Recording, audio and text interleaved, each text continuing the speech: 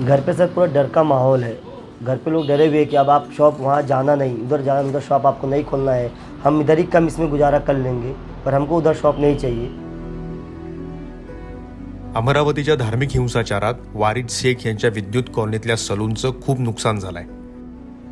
तेरा नोव्हेंबरला हिंसक झुंडीनं त्यांच्या दुकानाची तोडफोड केली. वारिस यांच्यावर त्याचा मोठा आघात झालाय. काहीच दिवसांपूर्वी त्यांच्या मुलीचंही निधन झालं होतं. कुछ लो- लोगों का कहना है कि मैंने दंगाइयों से हुड़दंग और झगड़े किया है। जबकि जिस दिन, बंद था, उस दिन मेरी बच्ची का सुबह में इंतकाल हो गया था। तो मैं शॉप कैसे चालू कर सकता हूँ? और मेरा लॉक लगा हुआ था, लोगों ने लॉक तोड़ के शॉप, फिर उसके बाद उन्होंने मेरी एसी टीवी और बाकायदा चेयर वगैरह पूरी जलाई गई है। मैं शॉप मेरी पूरी बंद थी।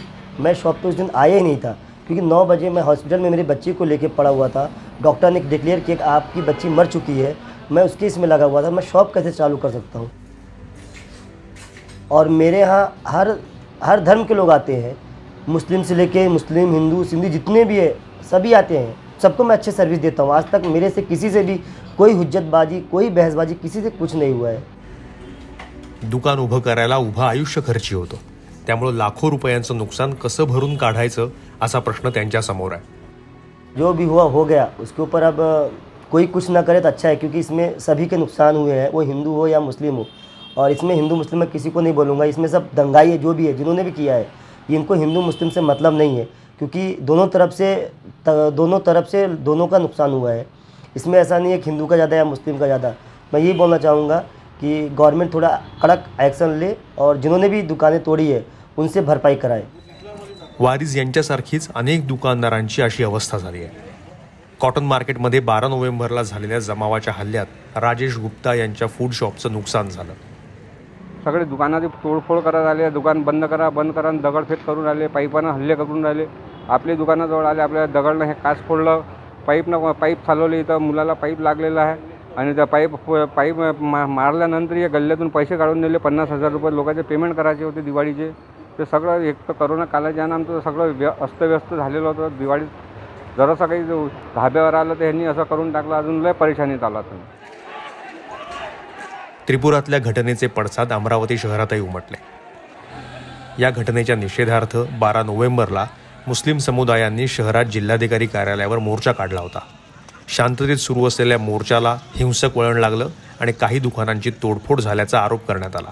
पोलीस त्याचा आता तपास करतायत. या मोर्चाच्या दुसऱ्या दिवशी म्हणजे तेरा नोव्हेंबरला भाजपनं अमरावती बंद पुकारला. या बंदलाही हिंसक वळण लागलं.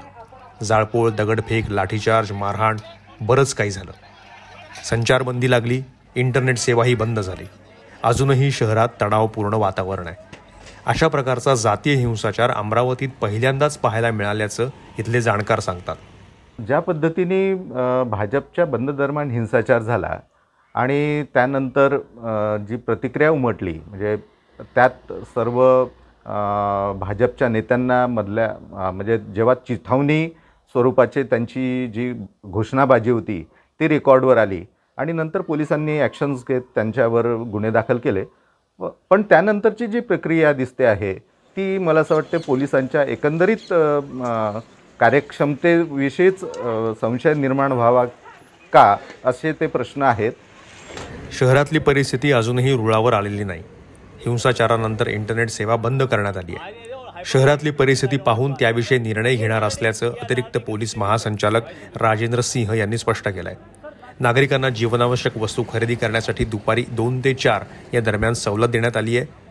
चिथावणीखोर भाषणं करणाऱ्यांवर पोलीस कारवाई करतील, असंही त्यांनी स्पष्ट आहे लगभग दोनों दिन का टोटल मिला के जो प्रॉपर्टी का नुकसान हुआ है, वो लगभग 40 लाख के लगभग प्रॉपर्टी का नुकसान हुआ है।